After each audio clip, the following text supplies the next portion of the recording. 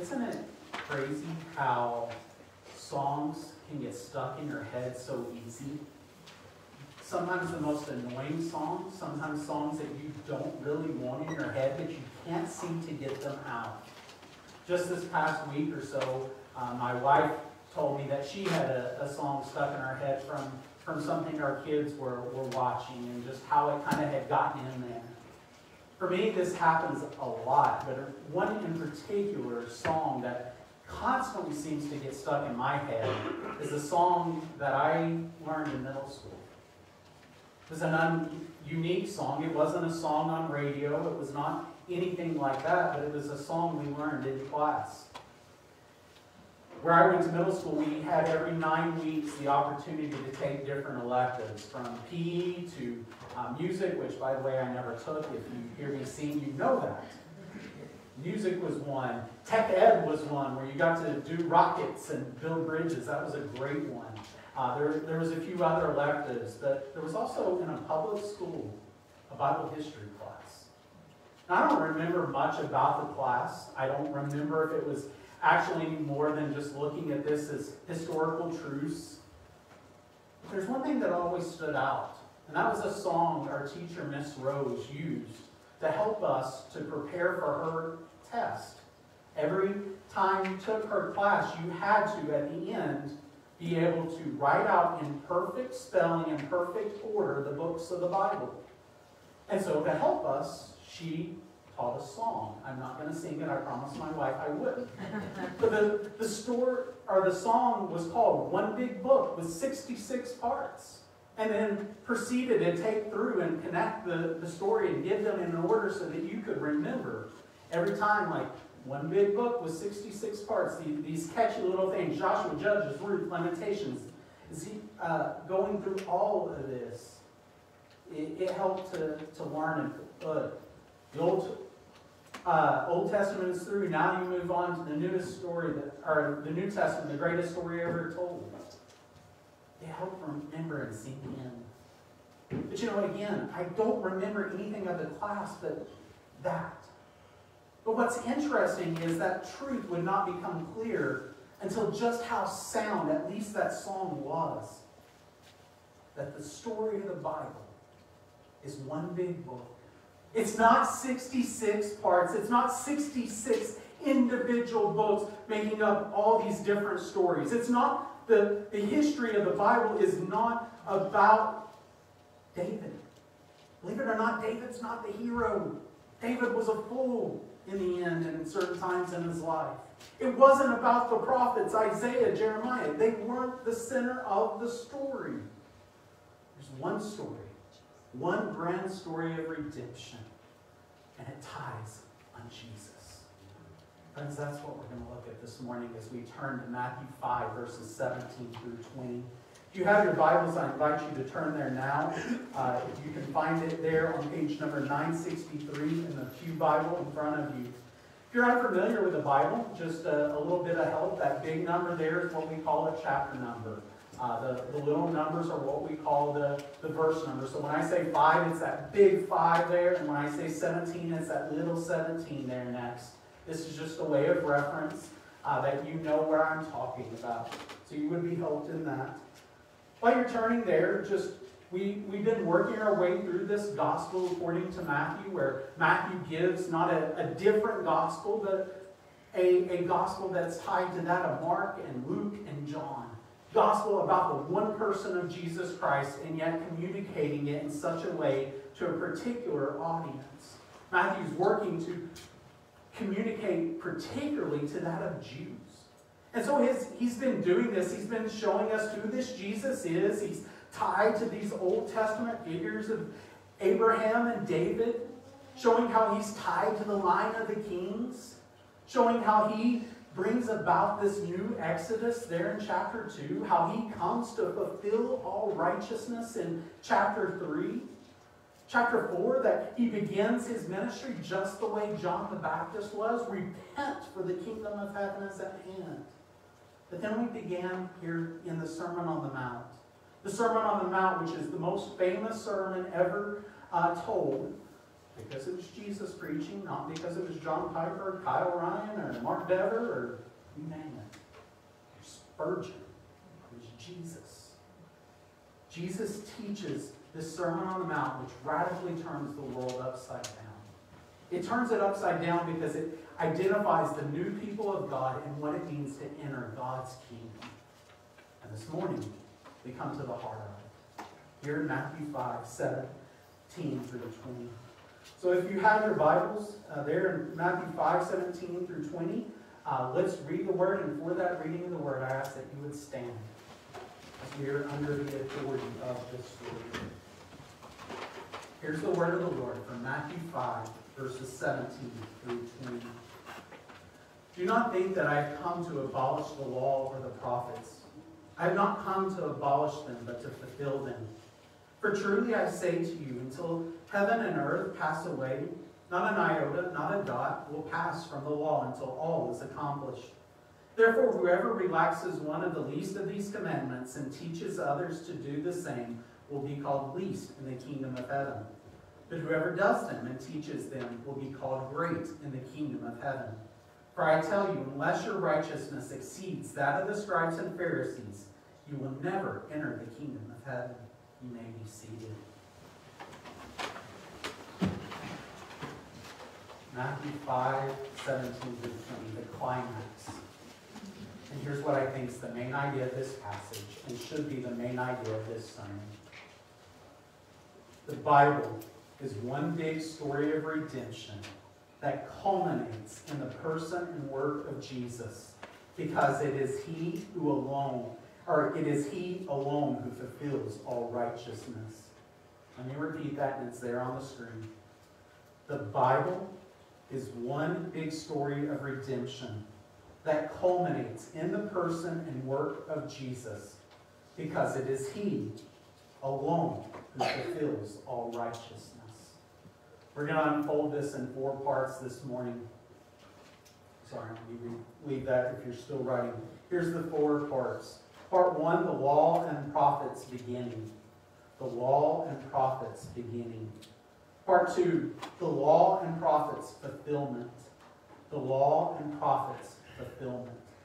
Part three, the law and prophets continuity. The law and prophets continuity. Part four, the law and prophets righteousness. The law and prophets righteousness. Let's look at point number one, the law and the prophets beginning. Verse 17. Do not think that I have come to abolish the law or the prophets. I have not come to abolish them, but to fulfill them.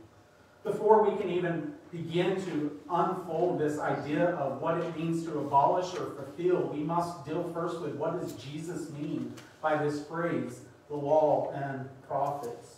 Is he merely talking about the first five books of the Bible, Genesis, Exodus, Leviticus, Numbers, Deuteronomy? as well as that of the prophets, Isaiah, Jeremiah, Ezekiel, and then the 12 minor prophets. Minor not because of unimportance, but because they're shorter. They're at most 14 and most three or four chapters. Is it just this that he's referring to? No. When Jesus says here that uh, he has come to fulfill the law and the prophets, he's talking about the whole of the Old Testament. Those 39 books from Genesis to Malachi, Jesus is saying, I have not come to abolish these, but I've come to fulfill. Particularly these books of the Bible, these 39 books, are the story of God's redemptive start. It starts there in the garden of Him being the one to create it, and it's all good. Everything's good. But then you think of how the, the story of redemption begins to be made plain and revealed. The fall, we're communicated that the fall takes place of Adam and Eve eating of the forbidden fruit from the tree. They rejected God as king, as the authority over them. They wanted to be like God instead of submit to God and be in his image according to his ways. Sin enters the world. But as sin enters the world, we begin to see that this is tracing a lineage. It's tracing a history here. It traces first that of Cain and Abel in Genesis 4. We see Cain and Abel almost ruin it, like the reader, as first-time readers were like, what in the world? Cain here has killed his brother Abel. How's there any hope of the promise of Genesis 3.15 of one who's come to crush the head of the serpent? How is there hope of the seed of the woman? But then Seth comes and we go from Seth then to Noah and the flood. God's judgment comes because sin has increased so greatly. He wipes it all out. And then yet he establishes another covenant. And the Noah or covenant with Noah and saying, Look, I'm putting my rainbow in the sky to promise I will never flood the earth again. You can have the promise. And then Abraham, and a covenant made with Abraham, a, a story of redemption building. The, from Abraham on, it follows this one family line Abraham, Isaac, and Jacob. Leads us to God and his story of redemption, how he provides and protects his people by sending Joseph into slavery in order to later protect his people there in Egypt, to keep them from being perishing in the midst of this famine. And then the Exodus, God, again, in the story of redemption, He hasn't forgotten His people, even though they've been in Egypt 400 years. This God, in this story of redemption, is communicating here, I've not forgotten you. He sends Moses, and Moses leads the people out. And then you go from ex the Exodus there and celebration of it in Exodus 15 to the giving of the law in Exodus 19 Exodus 20, Exodus 21, 22, 23, you see this story of redemption becoming, to be made clear. Here's who you are as my people. Here's what it means to live. This is what Jesus is saying. He has not come to abolish, but fulfill the story that keeps going Leviticus, it, it lays out the law and further commands specifics of what it means to have a sacrifice and how this is to take place. Numbers, a numbering of the people and their structure and order, where they're to camp in the camp. Deuteronomy, a recounting of the law. Joshua entering the promised land that was promised to Abraham. It keeps going. You've got the prophets who begin to warn the people here was what Moses told you. If you obey, all will go well. But if you're disobedient, repent, or I'm going to cast you out, is what the Lord tells them. All of this is the promises of God. What does it mean to dwell with God, to be like God, is summed up in this law and prophets. To be a people repentant, who constantly obey Him and see Him as their King. This is what Jesus has not come to abolish, but to fulfill. He says, I have not come to abolish this. Jesus wants to make it clear, and it's important for us to realize this, why he needs to make it clear he's not come to abolish this. Because in Jesus' day, Jesus would soon, though not yet, soon be called the lawbreaker. He would be seen by the religious leaders as the one who throws out the law, has disregard for it all, especially that of the traditions of the, the scribes and the Pharisees, the traditions of man. Jesus will be opposed for. So it's important here, he communicates early I have not come to abolish this law by no means. Christian, we, we may think this is an Old Testament problem of only the Jews forgetting this, but we struggle in our day right here, right now with this. Because we struggle to see that Jesus has not come to abolish this law. Often we hear this in phrases like, I'm under grace, not the law. Friends, if, if you're guilty of this, don't walk away here continuing in this law. Repent. You hear the phrase, the God of the Old Testament is different than from the God of the New. Phrases, I'm a New Testament Christian, therefore I don't bother with the Old Testament. Friends, if this is you, I, I, I pray as we go through this, you're going to see that Jesus has the Old Testament and holds it highly for us, and so should we. Jesus has not come to abolish this of old. He supports it. He's here to fulfill it. Point number two the law and prophets fulfillment. Again, look here back at verse 17. Do not think that I have come to abolish the law or the prophets.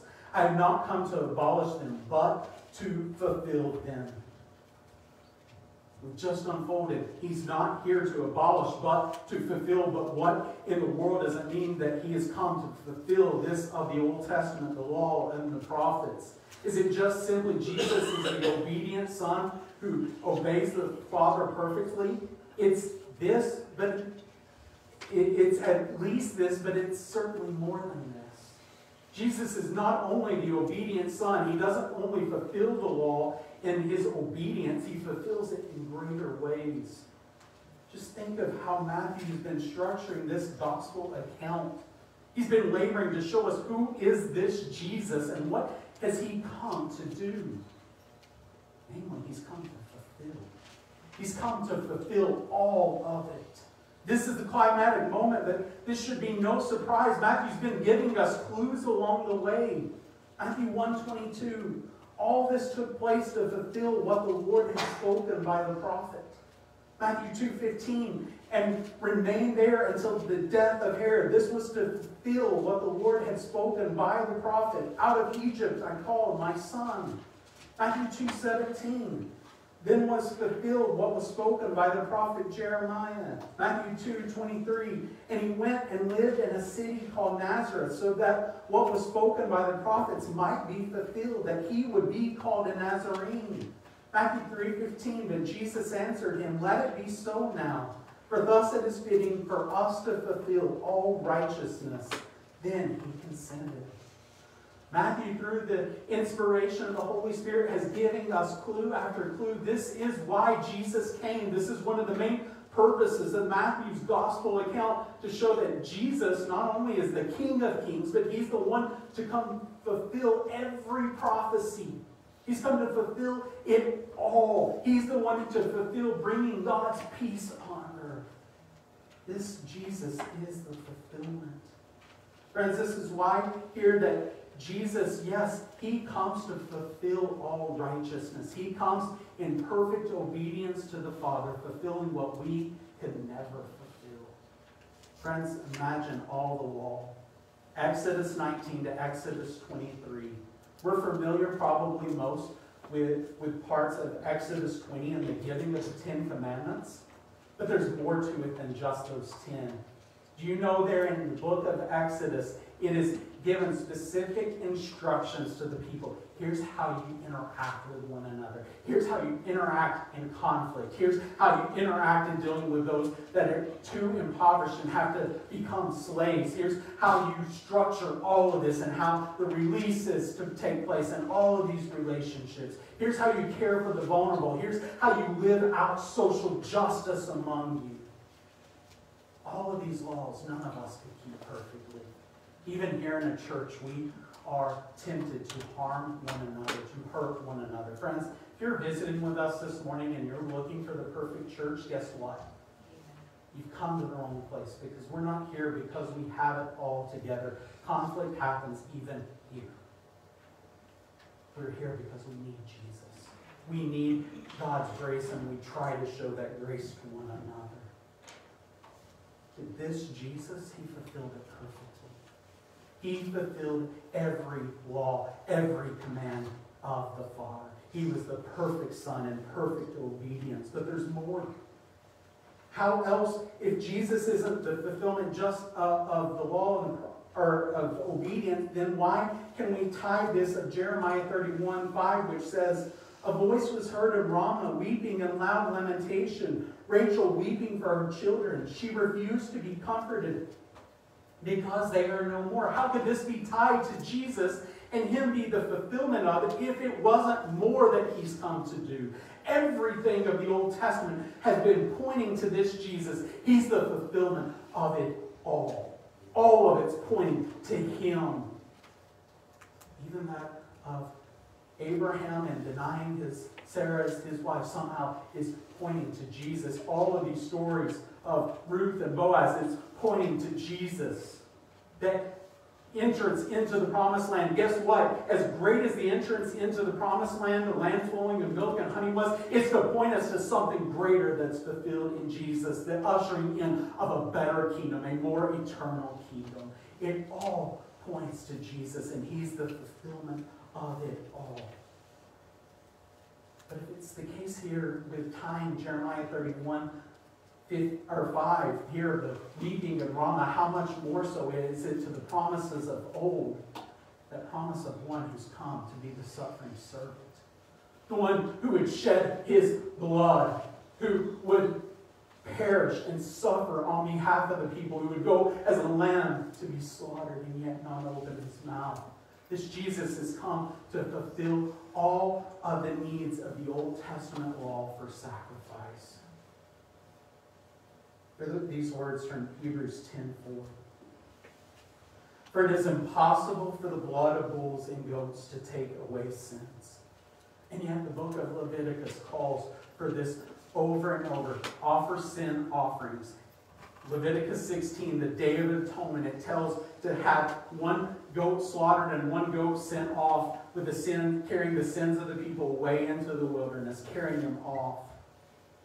And yet we see there in Hebrews 10:4, it is impossible for the blood of bulls and goats to take away sins, yet they were to point us to our desperate need in something more. Who fulfills this? Well, Jesus. Hebrews 10:14, it goes on to say 10 verses later, for by a single offering he has perfected for all time those who are being sanctified. Jesus comes, and by the shedding of his blood once on the cross of Calvary, takes away the sins of the world. There is no more offering of sacrifice because Jesus has satisfied God's wrath in drinking the whole cup of it on the cross. This Jesus fulfills all of these promises. Look in full here, Isaiah 53, verses 2 through 7. For he grew up before him like a young plant, and like a root out of dry ground. He had no form or majesty that we should look at him, and no beauty that we should desire him. Verse 3 He was despised and rejected by men, a man of sorrows and acquainted with grief. As one from whom men hide their faces, he was despised and we esteemed him not. Verse 4 Surely he has borne our griefs and carried our sorrows, yet we esteemed him stricken, smitten by God, and afflicted. Verse 5 But he was pierced for our transgressions, he was crushed for our iniquities. Upon him was the chastisement that brought us peace, and with his wounds we are healed. Verse 6 All we like sheep have gone astray. We have turned every one to his own way, and the Lord has laid on him the iniquity of us all. Verse 7 He was oppressed and he was afflicted, yet he opened not his mouth. Like a lamb that is led to slaughter, and like a sheep that before it shears is silent, so he opened not his mouth. Christian, do you see how Jesus has come to fulfill all the law and the prophets. Everything that the law and prophets pointed to, Jesus is the one it pointed to. Namely, the one who comes as the Messiah King, who's also the sovereign servant in one. Jesus is King, but he's the one who will go to the cross. He's the one who will tell, once Peter makes the confession, when we get to Matthew 16, Peter makes that confession. He, he observes, who do people say I am? Peter says, You are the Christ. But what happens a few verses later? Peter says, Far be it from you that you should go to the cross. And Jesus tells him, Get behind me, Satan.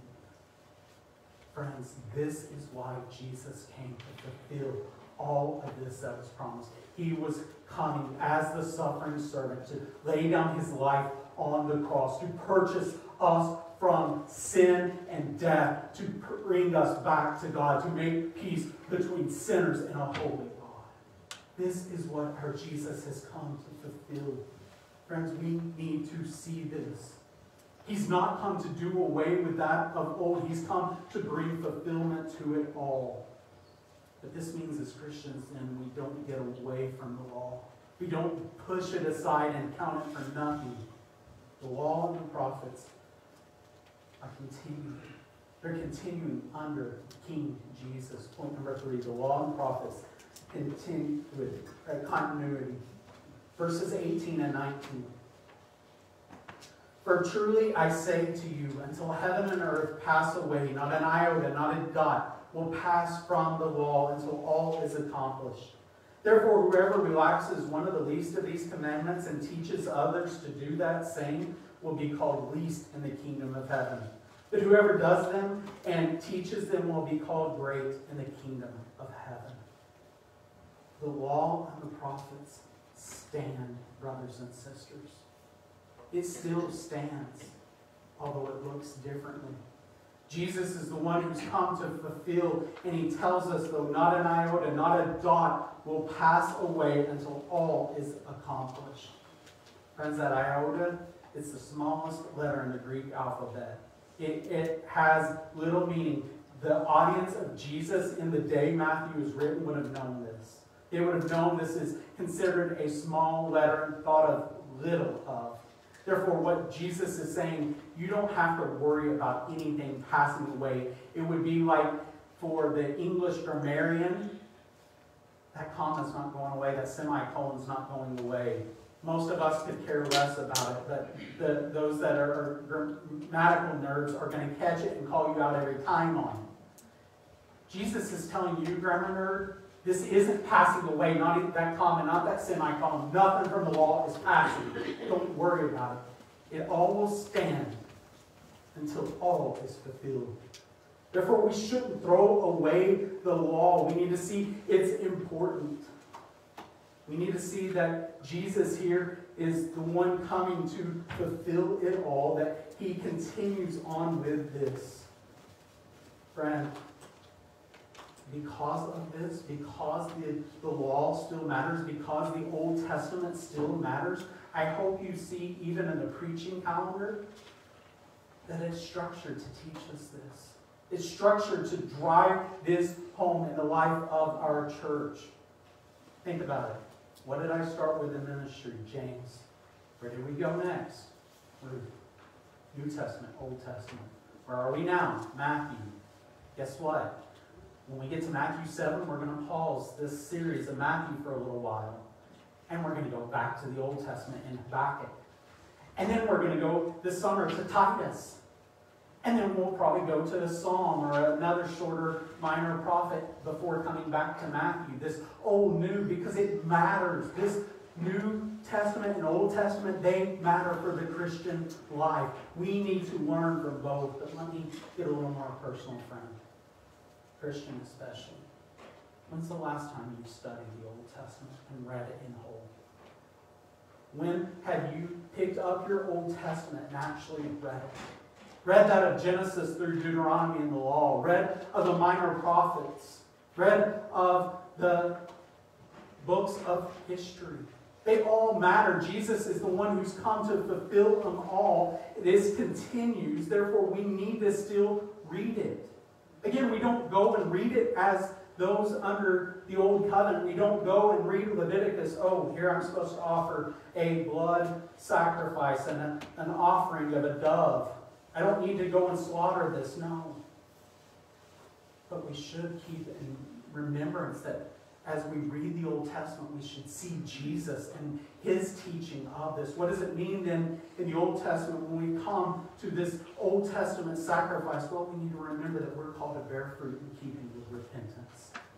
The sacrificial system in the Old was not meant to sit there and simply be a performance. It is to point to the people look, you need my mercy, you need my grace. Here's what you're called to do in order to dwell with me. The Christian life as we live this out and we're bearing fruit in keeping with repentance over and over and over again. Friends, we're also, as Christians, then, we're, we're called to uh, remember here of the hope of the Old Testament that is pointing us to this and see how Jesus has fulfilled it all. Hopefully, you're seeing this as I preach Old Testament. Hopefully, I'm pointing you to Jesus. And if you don't, Go and listen to a guy named Mark Dever, and, who is at Capitol Hill Baptist Church, and I promise you he'll do it faithfully. Go and listen to his sermons and see how he points to Jesus in the Old Testament. We should see Jesus through it all. This is what it means the fact that the law and the prophets have continuity here. It has continuity in the sense that God's holiness and standards have not changed. It looks different because of Jesus. We read the Old Testament through the lens of Jesus. Right now, I'm currently reading Acts in my private time of Bible reading. As I'm reading through parts of Acts, one of the things that has stood out to me is how these prophets or apostles have communicated the Old Testament and pointed to Jesus as Jesus the fulfillment. Go and read how the New Testament authors show us Jesus is the fulfillment. Go and read your Old Testament the way they do. Brothers and sisters, this is what it means for this continued continuity there between the Old and the New. Even seeing that of the Old Testament law of circumcision. Kids, sorry, I'm not going to go into this. If you've got questions, sorry, parents, go and ask your parents uh, on this. But the idea of circumcision and that law of the Old Testament for, for boys eight days old and, in order to be circumcised, well, guess what? We don't necessarily aren't under that obligation now in the New Testament, but we are called to have a circumcised heart. Brothers and sisters, you see the connection between the old and the new. It still sends, there's still implications here in what it's simply and pointing us to. We need to read it through Jesus' lens and keep with the old. We don't need to unhitch ourselves from the Old Testament. We need to keep pressing on in it because there's continuity there. There's continuity because we need to see still we have a great need and a Savior. That even as Jesus comes, as he teaches, he's not come to abolish but to fulfill. We're tempted to think, okay, there's a new, easier way into this kingdom. And yet Jesus blows our minds here. Point number four, verse 20. The law and the prophets' righteousness. Verse 20. For I tell you, unless your righteousness exceeds that of the scribes and Pharisees, you will never enter the kingdom of heaven. Let me re- read that again. For I tell you, unless your righteousness exceeds that of the scribes and Pharisees, you will never enter the kingdom of heaven. Friends, we may not be struck by this, and it may not carry the weight it should in our day and time, because we look at the scribes and Pharisees and we think, of course, that's easy. They're hypocrites. We got this. Just don't be a hypocrite. No. More weight being carried to this with Jesus' audience. The scribes and the Pharisees were thought as the most righteous, the most ones who, who guarded themselves from breaking the law. Therefore, they surely are the ones who are most righteous. And so for Jesus say your, your righteousness must exceed that, like this is impossible. Despair would have began to sink into their hearts. Like, how? How? This can't happen. Like our righteousness can exceed that of the scribes and Pharisees. They're the most righteous. To help draw this out, Hear these words from Daniel Doriani and, what he says of the Pharisees and keeping the Sabbath. He writes, They codified how far one might walk, 1,000 yards, how much one might write, one word, how much food one could take out of storage, one gulp, without breaking the Sabbath. Do you see the extents the, these Pharisees and scribes would have gone to? They would have put these extra boundaries to keep them from even getting to sin. And they were, this is why they were seen as those most righteous. Because they took these extremes. Friends, and yet, that's not the law. That's not what was supposed to happen. People aren't intended to merely keep externally this law and live. These Pharisees thought they could guard themselves and, and walk a, a righteous life and earn the kingdom of heaven because of who they were and their, their extra biblical boundaries. Friends, we would call this today legalism. Those who think they can somehow earn God's kingdom by their works and by not breaking certain laws. They add to God's word instead of allowing God's word to stand. I'll your own mind put those pieces together. Some of the things churches like to say, you can't do this, even though the Bible never forbids it. Christian, be wise on that. Let us not be of the legalistic mind, because the point here that Jesus is trying to show us is our need of a greater righteousness. A righteousness that cannot come from mere external obedience. Friends, let, let me tell you, and, next week, as we dive into 21 through 48, it's going to blow this even more wide open. Your righteousness isn't seen in merely begrudgingly, outwardly keeping God's law if your heart's a mess. He's calling to a greater righteousness than that. He's not merely calling, as we're going to see, to a righteousness of don't murder. He overturns that and says, don't even let anger. Not only don't commit adultery, but don't even let lust enter your heart. All of these things he begins to overturn. We'll unpack that next week, but here's the thing we need to see. Greater righteousness that Jesus is calling us as disciples to is a righteousness that is a righteousness of heart. A righteousness of heart that only comes through Him.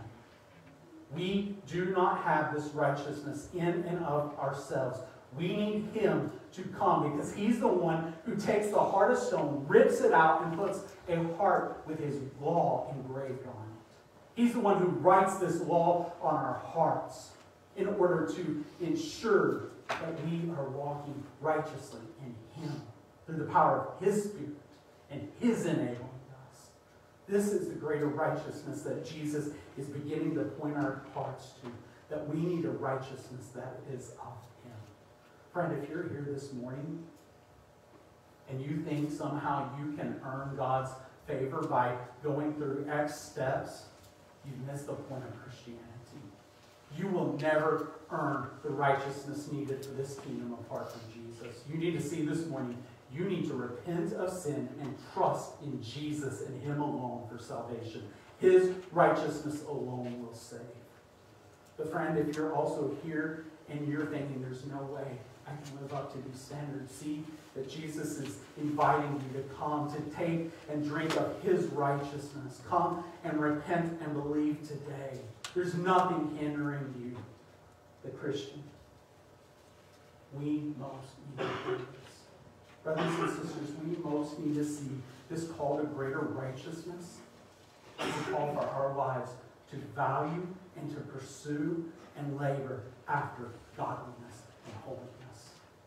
Let me quote that, that great theologian, J.C. Ryle. The Christian who is content with a low standard of personal holiness has got much to learn.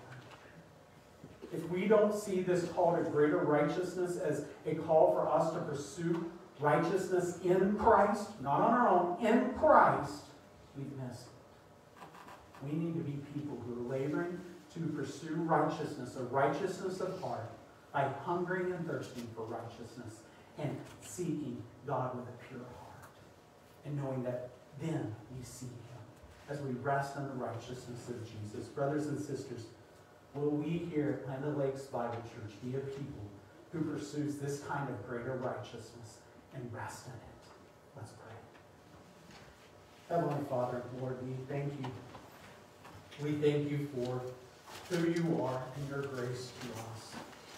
Father, we pray, Lord, even now as we come to that of the Lord's Supper this morning, Lord, as we see the sermon made visible and being reminded that Jesus has come to fulfill all the requirements of blood being shed in the Old Testament, that he's come to fulfill it by the shedding of his own blood. May our hearts both weep in grievance over our sin, but also overflow with thanksgiving and worship because of your grace to us in Jesus. Father, Lord, will you do this work? We ask and we pray in Jesus' name.